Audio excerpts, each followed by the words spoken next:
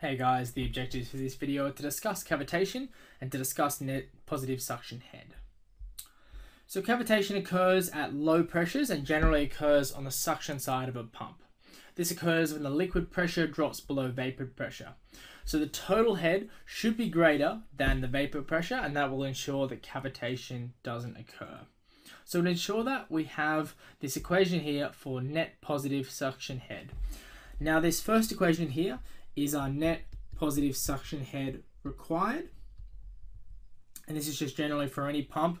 We need to ensure that the pressure on the suction side of the pump divided by the unit weight plus the velocity on the suction side of the pump squared divided by 2 times gravity minus the pressure, the vapor pressure divided by unit weight is greater than 0.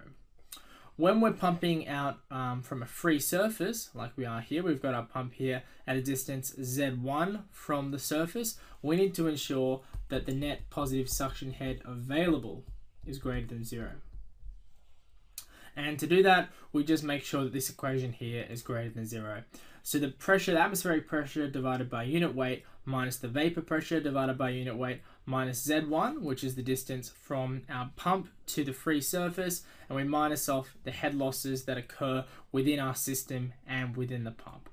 So net positive suction head required, that just applies for any pump, but when we're pumping from a free surface, we need to ensure that the net positive suction head available is also greater than zero. Anyway guys, that was just a quick introduction to net positive suction head and cavitation. I'll see you guys in the next video.